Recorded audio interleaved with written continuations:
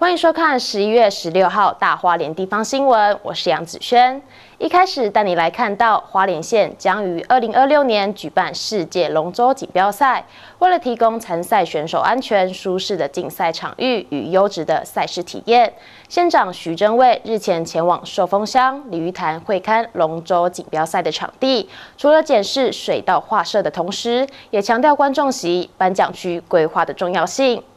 在教育部体育署、中华民国龙舟协会、花莲县府共同努力下，台湾成功争取2026年世界俱乐部龙舟锦标赛主办权。县长徐正卫十三日前往寿丰乡鲤鱼潭，在花莲体中洪洪章教练陪同下，会看龙舟锦标赛场地，除了检视水道画设，也强调观众席、颁奖区规划的重要。花莲县府期许孩子文武双全，借由承办各项国际运动赛事，提升花莲县软硬体等体育设施设备，除了让参赛选手享受国际级赛事规格体育场馆。也让花莲学子有优质运动空间。近年龙舟训练基地不断优化，提供选手扎实训练，让花莲县龙舟队在国际赛屡屡夺牌。二零二六世界俱乐部龙舟锦标赛预计将于二零二六年九月在花莲鲤鱼潭举办，届时世界各地约三十国近万人到场比赛。县府表示，期盼全力以赴做好各阶段筹备工作，让各国来到花莲的选手宾至如归，提升花莲国际能见度，带动县内观光经济，对于体育和文化发展都有重要意义。记者蒋邦彦收风箱报道。